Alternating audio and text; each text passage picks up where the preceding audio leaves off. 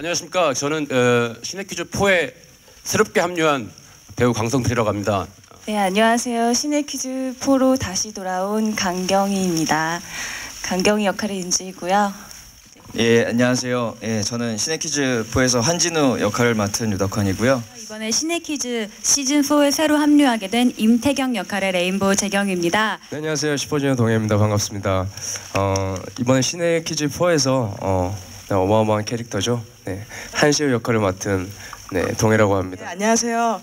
시네키즈 4에서 조영실 역할로 다시 합류하게 된 배우 박수면입니다. 반갑습니다. 멜로를 하게 돼서 너무 반갑고요.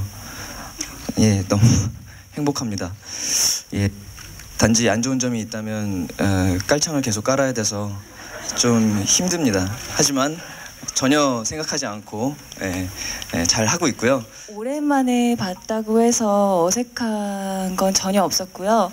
처음 보자마자 농담을 주고받을 정도로 굉장히 편안했고 그게 또 지금 촬영하면서 현장에 묻어나고 있고요. 어, 처음 이 작품을 오디션을 본다고 했을 때 개인적으로 류덕환 씨의 팬이었어요. 그래가지고 류덕환 씨가 이전에 했던 그런 영화나 작품들을 보면서 굉장히 되게 많이 배우고 싶다 생각을 했고요. 레인보우 사랑합니다. 네, 어, 그렇기 때문에 어, 더 가까이서 어, 연기하는 걸 보고 싶어서 꼭 이 오디션에 붙고 싶었던 마음도 있었고요. 희철이 형이 저에 대한 어, 그 연기 조언이나 그리고 멤버로서 이렇게 파이팅 해주고 하는 부분도 당연히 있고요. 희철이 형도 드라마를 하고 있고 뭐 저도 이렇게 드라마를 하기 시작하게 돼서 같은 팀 멤버로서 같이 조언도 해주고 같이 모니터도 해주고 있고요.